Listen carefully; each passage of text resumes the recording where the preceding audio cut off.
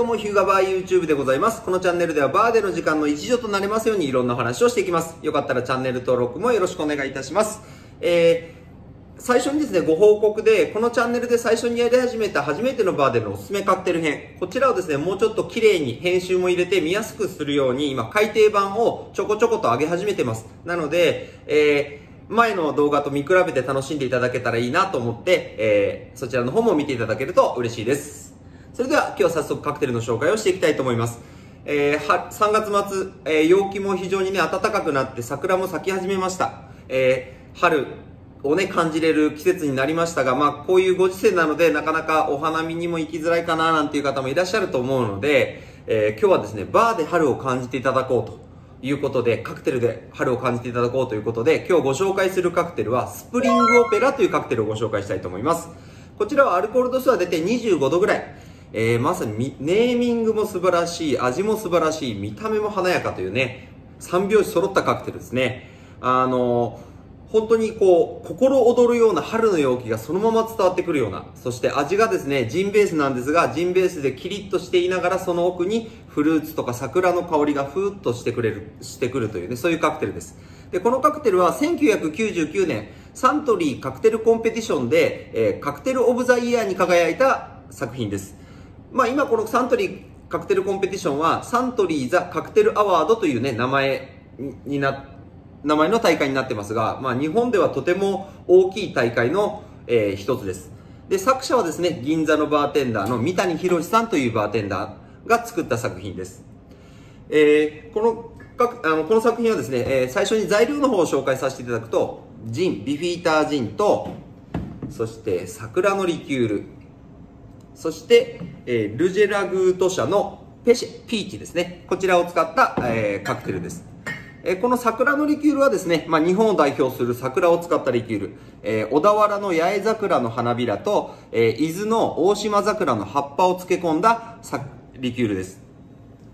そしてこちら、ルジェのペシェ。こちら以前、キールの時にも紹介したんですが、もう一度ちょっと紹介させていただくと、このルジェラグード社のペシェ。こちらはですね、まあ、ルジェ、ルジェラグード社自体がもうリキュールメーカーの中では、もう代表格、トップブランドですね。なぜこのルジェラグード社がトップブランドと言われているのか。これはですね、えー、カシスリキュール。まあ、カシスリキュールっていうと、もうリキュール、果実系リキュールの中では40%、全体のリキュールの中でも25%を占めるという、とても人気のあるフルーツのリキュールですが、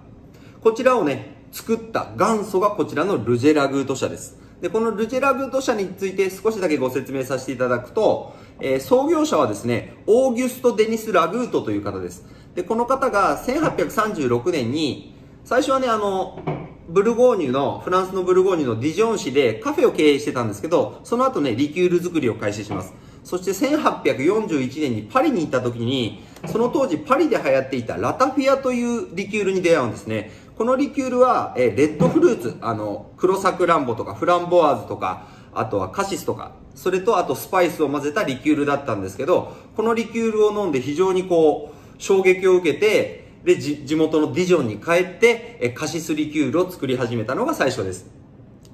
えー、そしてですね、その後、1858年に、えー、娘婿の、えー、ルイ・ルジェと、え、協力して、名前を、二人の名前を合わせてルルジェラグート社というね、名前にして、えー、現在に至ります。このね、娘婿のルイ・ルジェさんはですね、えー、もともとはね、車掌さんだったんですよ。車掌さんだったのが、えー、エリザベス・ラグートと結婚して、そして、えー、その、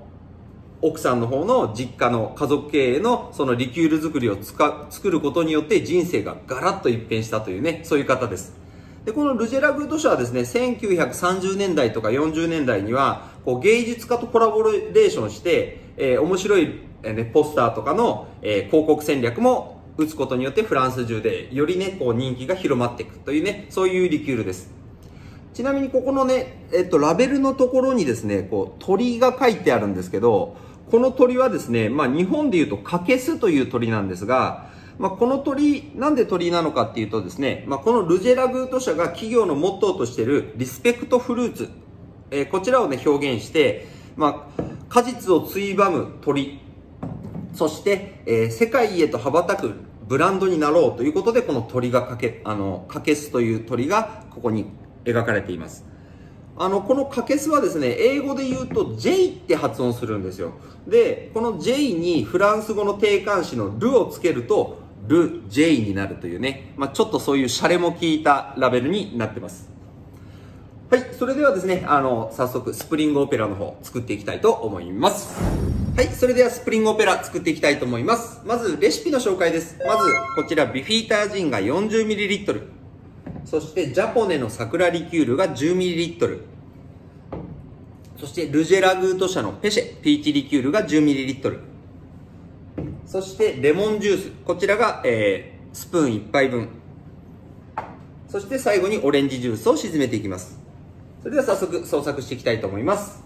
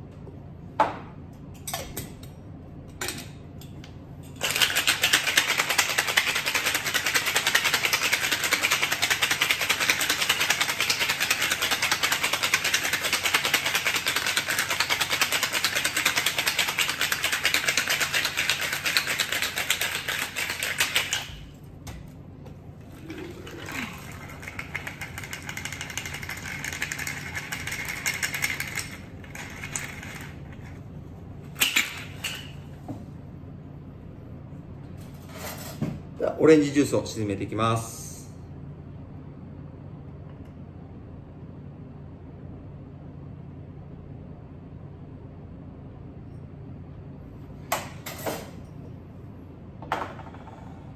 そして最後にグリーンチェリーを飾って完成です。